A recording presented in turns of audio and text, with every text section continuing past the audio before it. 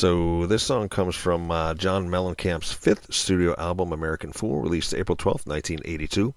Both the album and the song went to number one on the Billboard album and singles charts. Interesting enough, it was Mick Ronson of David Bowie fame who was instrumental in making this song sound the way it did. Brought a lot of really cool ideas to Mellencamp as they were putting it together. It was recorded at Criteria Studios in Miami. Song just kind of takes me back to my senior year of high school, you know, one era of my life ending, another starting.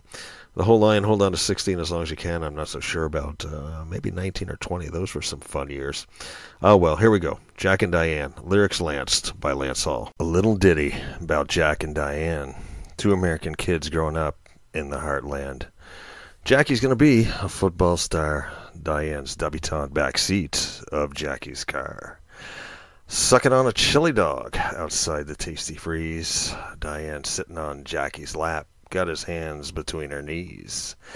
Jackie says, Hey Diane, let's run off behind the shady trees. Dribble off those Bobbie Brooks slacks, let me do what I please. Saying, Oh yeah, life goes on, long after the thrill of living is gone. Saying, Oh yeah, life goes on, long after the thrill of living is gone. They walk on. Jackie sits back. He collects his thoughts for the moment, scratches his head, and does his best James Dean. Well, there now, Diane, we ought to run off to the city.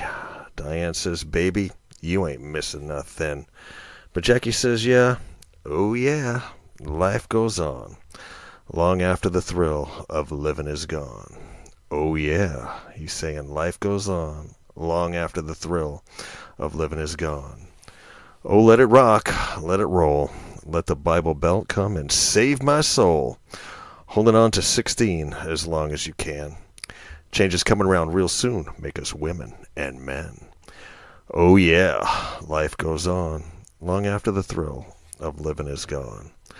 Oh, yeah, he's saying life goes on long after the thrill of living is gone. A little ditty about Jack and Diane two American kids doing the best that they can.